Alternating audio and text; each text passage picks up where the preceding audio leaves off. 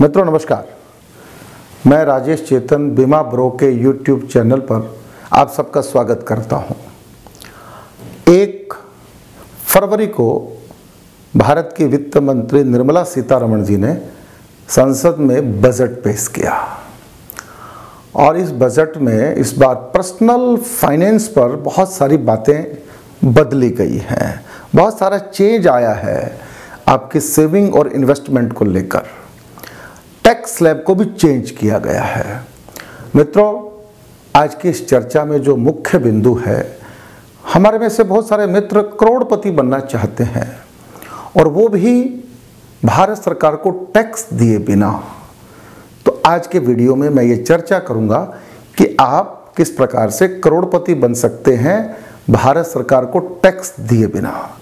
तो बहुत सिंपल है इस बार निर्मला सीतारमण जी ने ये कहा है कि 31 मार्च के बाद, यानी कि 1 अप्रैल 2023 से पाँच लाख से ऊपर की जो प्रीमियम की इंश्योरेंस पॉलिसी होंगी, उनकी मेच्योरिटी टैक्सेबल हो गई। इस बात को आप यूँ समझ लीजिए कि यदि आपने पाँच लाख रुपए से ऊपर का कोई इंश्योरेंस प्लान लिया किसी भी कंपनी से एलआईसी या प्राइवेट किसी भी कंपनी से, और ये प्लान मान लीजिए 20 साल का है तो आपने लगभग लगभग एक करोड़ रुपया जमा किया।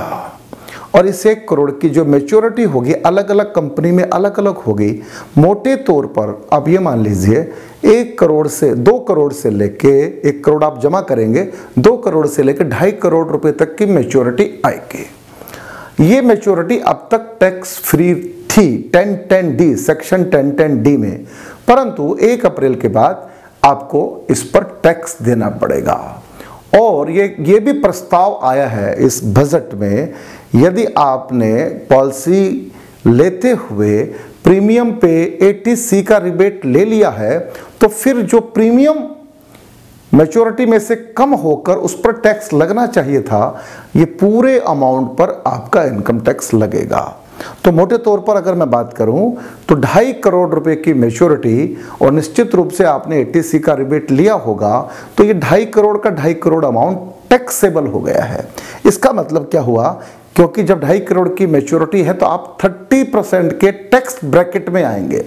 और 30 परसेंट के टैक्स ब्रैकेट में आएँगे तो ढाई करोड़ रुपया का जो कैपिटल आपको मिल रहा है, उस पर लगभग 30 परसेंट, यानी कि पिचहत्तर लाख रुपया आपको टैक्स देना पड़ेगा। तो इस बात को समझिएगा, ये प्रस्ताव जो बजट में आया है, ये एक अप्रैल से लागू करने का भारत सरकार की योजना है। आप इससे पहले आप अपनी टैक्स प्लानिंग कर लीजिएगा और बड़ा कोई प्रीमियम का प्लान आप ले लीजिए। 31 मार्च से पहले जो प्लान आप खरीद लेंगे, वह टैक्स फ्री रहेगा आखिर तक। तो ध्यान रखिएगा, आपके लिए बहुत ज़्यादा समय नहीं है। 31 मार्च 2023 तक का समय है।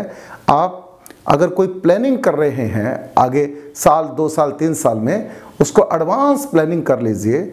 और कोई ज़रूरी नहीं है कि आप प्रीमियम ईयरली दें। आप मंथली प्रीमियम में भी प्लान में एंटर हो सकते हैं और जब चाहें अपना प्रीमियम का मोड चेंज कर सकते हैं। तो ये मेच्योरिटी अमाउंट आपको, आप करोड़ों रुपए की कैपिटल आप क्रिएट कर सकते हैं। ज़रूरी नहीं पाँच लाख का, जो आपकी कैपेसिटी हो, आप छह लाख का, आठ लाख का, दस लाख का, कितना भी, आज कोई कोई उसके ऊपर किसी प्रकार का सरकार की सीलिंग नहीं है। आप कितनी ही बड़ी पॉलिसी खरीदिए, उसकी मेच्योरिटी इकतीस मार्च तक टेन टेन डी में पूरी तरह से टैक्स फ्री रहेगी। बस मेरी इस प्रार्थना को आप स्वीकार कीजिएगा। बहुत बड़ा अवसर है टैक्स फ्री करोड़पति बनने का। इस अवसर को छोड़ना नहीं। ध्यान रखिएगा धीरे धीरे सरकार की योजना बदल रही है। पहले सरकार की सेविंग हुआ करती थी। E E E exempt exempt exempt अब सरकार बदल रही है भारत की सरकार। वह एटीसी और टेन टेन डी धीरे धीरे आहिस्ता आहिस्ता दोनों को समाप्त करने की तरफ़ बढ़ रही है। ये मौका छोड़ना नहीं है।